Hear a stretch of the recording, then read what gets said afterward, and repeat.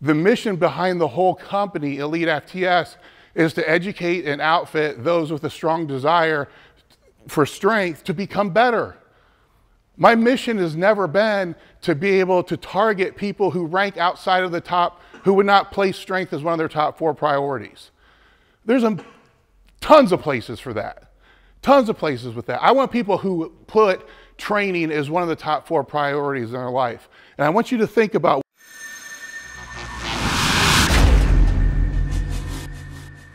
how many people have been to one of our seminars before? All right, we've changed the seminar structure several times over the past oh man, 18 years. I mean, if there's anybody in here that went to one of the seminars that I did when it was just a West Side seminar. I actually made some notes earlier because I really wasn't planning on any doing, saying anything. But when I first started doing the West Side seminars, anybody remember the movie Home Alone? That just came out. Um, Teenage Mutant Ninja Turtles, the original, the most badass, right? I went to go see that at the theaters when I was right after I did dynamic squat work at Westside. Garth Brooks just started to become a name at that period of time. So I'm kind of dating myself here a little bit, but at the same time, I want to put out there the importance of experience and education, relationships, and networking to go along with that, I founded the company, and actually 90 is when I started training at Westside. When I founded Elite FTS, I was doing the Westside seminar slightly before that, but this is when I would officially say that we founded it. The, John's in um, comic books and all this other stuff I really don't understand, but the first Avengers movie came out in 98. That's when I founded the company. Titanic was a movie that everybody went to and act like they didn't cry, but really did cry.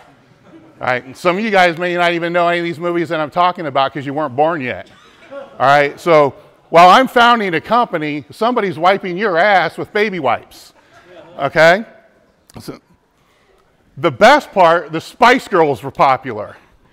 All right, so people probably don't remember those either, but some of us do. So it was more of a matter of which was the coolest, Sporty Spice, or I can't even remember the other ones because it really doesn't matter because I was too busy in the gym. But best of all was the movie The Wedding Singer. All right, which, if you think back, you got those there. That's when I founded the company. That's when I started teaching people how to train using a West Side method, but also realized I was teaching people about life at the same time. When I first did my first powerlifting meet, first started competing, are you familiar with the movie E.T.? That came out. All right. Rocky 3, Eye of the Tiger. I saw that at the theater and went to the gym and trained. All right. That's when I did my first meet was around 82 or 83. So I've paid my dues and I've earned my regrets. So I've earned my right to be able to be up here and to be able to speak and to give advice when it comes to strength training, conditioning, to some degree bodybuilding, powerlifting, but just this industry entirely. I started working as a quasi strength coach for my high school in 86. So I've been in and out of the industry my whole life. This is all I know. So with those things in mind and given a little bit of a history, like, so now you know why this guy standing in front of you so fucking broken, you know, as far as every replacement injury that I've ever had. There's a little context that goes behind that because the older, I, I now see myself and I am that person on the other side of the table. How many people in here are over 40 years old? Put your hands in the air. At some point in time, and you've been lifting for more than 10 years. So, same people. At some point in time, some motherfucker sat at a table and started giving you a bunch of advice on what you should and shouldn't do. And you're saying, that son of a bitch, fuck you. No, no. And you ignored him. All right? I'm that guy. But see, I know what it's like to be on that side of the table. the reason I wanted Eric here because I read online and I'll see people and I have people question and ask things about when do you give up on somebody when you're giving people advice. Eric was my doctor I, when I came to Columbus. in 90. And I sat in his office so many times when I couldn't even pay to be there and listen to him give me advice and say to myself, fuck him. And not listen to a fucking word he said, and he'll verify it to this day. He never fucking gave up on me. And then 10 years later, when I needed it, was there to save my fucking life. So when people are talking about, oh, this is when you cut off helping other people, this is when you stop giving back, fuck that. Because you never give up on people. Because if it wasn't for him, I would not be standing here right now. I may still be alive, but I would not be in this industry and I wouldn't be standing here. The man standing next to Eric would be dead if it wasn't for Eric. So he is a mentor of mine and he's somebody that I want to thank for being in the industry and thank for being that guy on the other side of the table for me. When I retired from powerlifting, it was the sport I started when I was 13 years old, 12 years old. It's all I knew. It's all I ever trained for.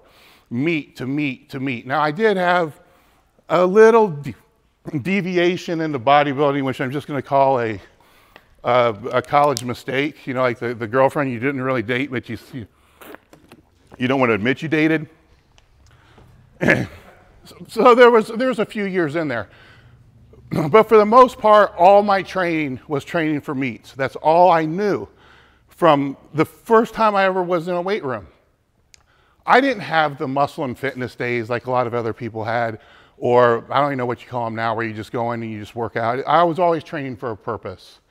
There came a time in my life where I was, I don't want to say forced out of the sport, but I had to leave the sport for multiple reasons.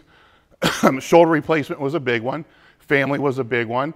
Eric up my ass was a big one. There were a lot of reasons, but there's also a lot of other issues that surround when you do something and it becomes your identity for 30 years.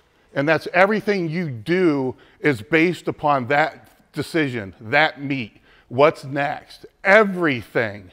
It was my first priority, and in some ways, when I look back, it earned regret. Justin came into my life at a time when I had to find some type of purpose to train. He doesn't know it. He has no idea the influence he had on keeping me training hard. And that's when I dieted down the first time. So I want to thank him for something he has no idea he even had an impact on me for. Because that taught me a different way to train, a way to train for something that wasn't gonna fuck me up for the rest of my life, which is a whole other story. That, but taught me how to train hard in a way that I could still relate to and still get into the gym. Several years pass from then, and adversity hits, and multiple, multiple variants across the board. And I'm not, gonna, I'm not gonna sit here and I'm not gonna bullshit it, and I'm not gonna pretend I'm not gonna hide behind anything. I would have rather have been dead at the time than been alive. Eric was there for me, and soon after that same time, John pops back up into my life and provides me with another reason and another way to train and gives me a way to train that could deal with this fucked up center of mass between my two ears, which, trust me, is fucked up, just like you're all fucked up. But now I know and I admit that it's fucked up and I embrace that it's fucked up. But it gave me an outlet to be able to deal with everything that I had to deal with with a training style that to a lot of people would look at and say, oh, that's awesome, you know, that's great, that's hardcore, that's intense. I emailed, or I came into the gym, and maybe some of you have had the day like this, maybe you haven't had it yet, maybe it's going to come into the future. I came in the gym, and not every time, Justin and I talked about this last night. Not every time as you are in this sport and as you train, as you get older, do you want to go to the gym? When you're younger, man, that's all you think about. It's all you want to do. I mean, you're drawing fucking squatters in your notebook. You know, like, you know, I had doodles all over my fucking desk that were squatters and benchers. Never bodybuilders, by the way, but squatters and benchers. And so you get locked into this, and it's your whole identity with that And it gets, like I said, it gets stripped away. And I, you know, I'm trying not to get emotional because these relationships, they change lives. When you, if you look for the opportunity, you keep your eyes open and you see what's actually in front of you and you learn to look to embrace what's actually there. Because to me, I text Shelby and I, uh, I walked into the gym and I did not want to be here. Not at all. Now, we've all had those days, right? If you, who has never had a day where you walked in the gym and you didn't want to be there? Because if your hand goes up, I'm going to call you out as a fucking liar. but I had a day that I walked in and I didn't want to be here, and I knew if I left, I may never come back. So I sent Shelby a text and I said, dude, look, send me a workout. He sends me a workout back, and it was one of John's leg workouts. 45 minutes later, I'm back there by that leg press machine, fucking puking my brains out, staring at the fucking stars. I'm, I almost killed myself. I'm seeing stars and birds, and, and I'm thinking to myself, this is the most awesome thing in the world. All right, so that's when I gave John a call a week later. And I didn't go into total details of everything that was going on with my life, but we hooked up and we started training. So these relationships that you find within inside these four walls of steel that we call a gym, they're life changing.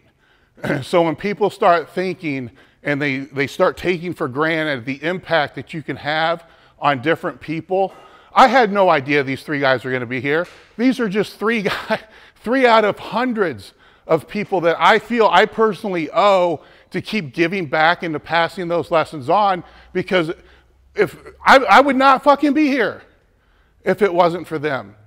So when I hear narrative and I hear people say, you know, I can only help people so much before, oh, you know what, that's starting to get too personal. It's getting, it's cutting into my client base. It's cutting into my income. Here's my advice to you. Fuck you.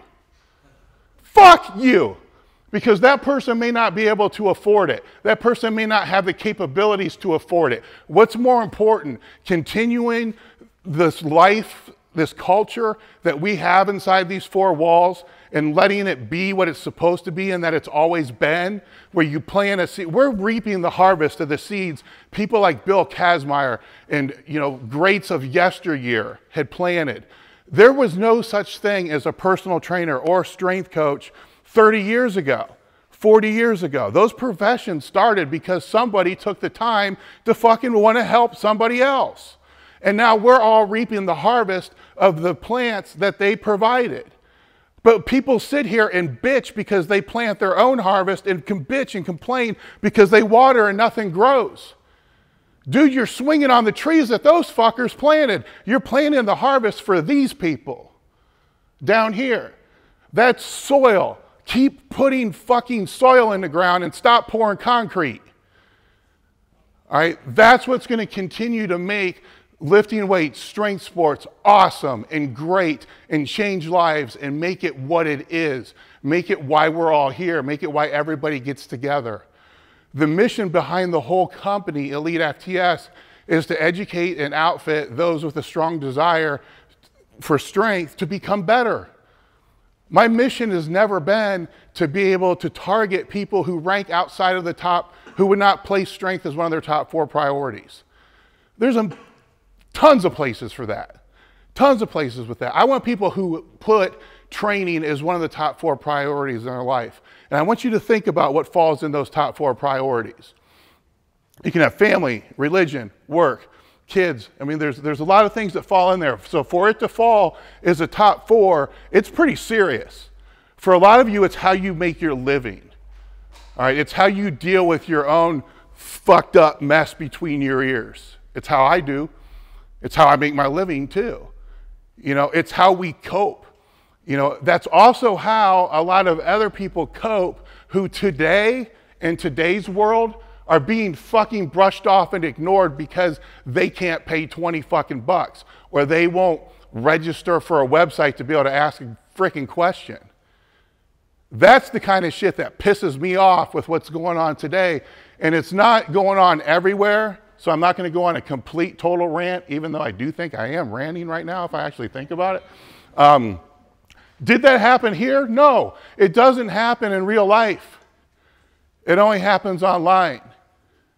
So don't participate in the false narrative of the bullshit that's going on online. Be better than that. Be the person that's going to extend the hand and help and be able to provide the answer and be able to help people get better. All right, knowledge and wisdom are two different things. You know, for years I was in the process of acquiring knowledge. You're in the process of acquiring knowledge. Keep acquiring knowledge. Learn, learn, learn, learn. You never know everything. I mean, I thought when I graduated high school and got my first job as a personal trainer at a health club that I was the best trainer in the world because I knew all the fucking Weider principles. I knew them all verbatim, man. I can't tell you what they are now because most of them are stupid, but they're strip sets, try to, you know, but I thought I had it all figured out. You know, then you learn something else and you think, oh man, I don't know shit. Then I learn, then I meet Louie and I found out I really don't know shit. so you want to be in a constant process of acquiring the knowledge. The motto of the company of Elite FTS is to live, learn, and pass on. What that essentially means to me and what I try to empower amongst everybody else is let's think about this as a training log. All right. I personally hate training logs, but people keep training logs. It is what it is. If you're in the gym and you spend all your time writing notes in the training log, are you really training or are you writing a fucking book? All right, so if you're in the gym training, train. If you're in the day living, live. You know, don't worry about shit that's happened in the past that you can't change. Learn from it. You can't predict the future, but you can set objectives for it. But you certainly have a choice on what you can do right now, today, and how you're going to embrace that and how you're going to frame it. So many times when I talk to people, a lot of the things that they'll bring to my attention and advice they have and questions they have, all I simply have to do back to them is change the narrative. They're asking the wrong questions. You know, and you all do it. When you start asking yourself, how come I can't? Why are you not asking yourself, how can I? Same, the, this is same context, eh, the questions changed. So to truly live, ask better questions. That's why we set up a Q&A. That's why we have training articles. That's why we have the content on the site. We don't have, I don't have a program that I sell. I don't have XYZ program. I don't want a program. I want to help everybody else develop their own program. What's your training philosophy? How can we make it better? You know, Swede's here and he's got the fifth set, and that's fucking awesome because he developed his own philosophy. What's yours? I'm not saying don't follow somebody else's because a coach can help you expedite the process substantially. Follow those coaches, learn from those coaches, and, and use what they've used. But also, if that's where you want to go, ask them questions about how they discovered their path. You want to learn from them, but you want to walk the same path. Unless you just want to be trained from them and don't, you know, don't give a shit either way. Then everything I'm saying is used towards your own business and reframe it with different questions. The learning of the live, learn, and pass on is you never know everything.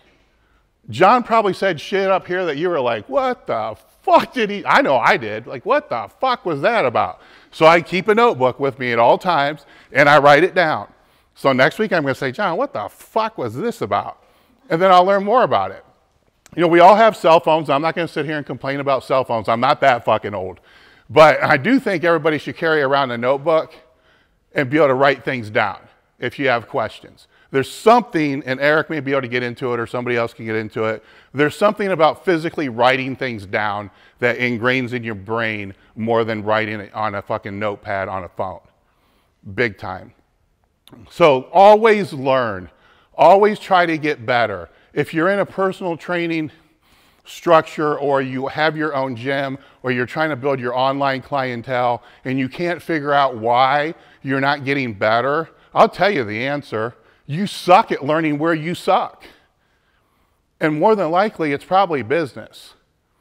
It's like, oh, you know, I'm a trainer. I don't need to know about business. Well, let me flip this on you. If an MBA with no personal training experience or no strength experience started a training center and started training people, how would you feel if your background is in exercise science, nutrition, and training? I know your answer. That's bullshit. He's not qualified. Am I, am I correct? Let me flip it. How do you think that MBA feels when you go and start a business with no fucking business background? Things start to make a little bit more sense. You know, there's something called a SWOT analysis, an SWOT, strength, weakness, opportunities, and threats. Look it up online, you know, Google image search it. It's the easiest way to do it. Do one on yourself. Do one on your business. Figure out what your strength, weaknesses, opportunities, and threats are. And then you can build upon what those weaknesses are. That's learning, that's forward learning. There's also a lot of worthless learning you can do, which is reading a bunch of stupid bullshit online which isn't educating you in any way whatsoever. We are all time strapped. We all have the same number of hours, and all this technology is supposed to be giving us more freedom and more time, but yet it's taking it all away because you're spending time learning the wrong shit and looking at the wrong stuff. Don't look at that. Find your weaknesses and build those. There's always time to go read the stupid shit later or be like me. You know, I have what I call my political advisor that I'll call on a Friday before a seminar, like, look, what the hell's going on? Just in case somebody asks me a question about dick pics, I know what's going on. You know, he'll give me a summary, then I know. So you can ask me, and I kind of know what's going on, but I really don't because I don't read the news. I'm too busy working on my own weaknesses. Passing on, the third part of the live, learn, and pass on is going back to what I, very, what I said at the very beginning. You know, don't give up on people because they're the ones that need it the most. But at the same time, don't let people take advantage of you. And I know that contradicts itself. And that's your own personal decision on how you're going to be able to handle that. But you can't let people take advantage of your time because it's doing a disservice Let's say you you have time and this is your profession. I understand that. We have to sell products for me to be able to even put out content. Without product sales, there is no Elite FTS. I understand this more than anybody else. And we put out more content than probably anybody else and charge nothing for it. W without product sales, there's no content. There, I may be on YouTube babbling and ranting, but Probably wouldn't be doing that because I'd be working for somebody else trying to earn an income. But you have to be able to know and be able to know what that point is because with knowledge comes wisdom. And wisdom is the experience, but that's not necessarily just because you're older, you're smarter. Experience is getting punched in the fucking face, getting kicked in the nuts, dealing with adversity. Don't run away from it, run towards it. Learn from it, use it to build wisdom. When you're able to build the wisdom, you're going to be able to decipher between those people you do want to reach a hand out and help with and the people that you feel are going to be taking advantage. Because when you start spending too much of your time helping those people who are taking advantage of your time, you're, you're, you're doing a disservice to your business for one thing. More importantly, you're doing a disservice to the person that can't afford the help, that really needs it, because those are the people who are going to be the drivers of the industry that are going to be the future role models that everybody looks up to. Eric did not turn his back on neither me nor John. And who did you listen to today? If there's anything you walk away from today, please let that be that. Thank you. Thank you.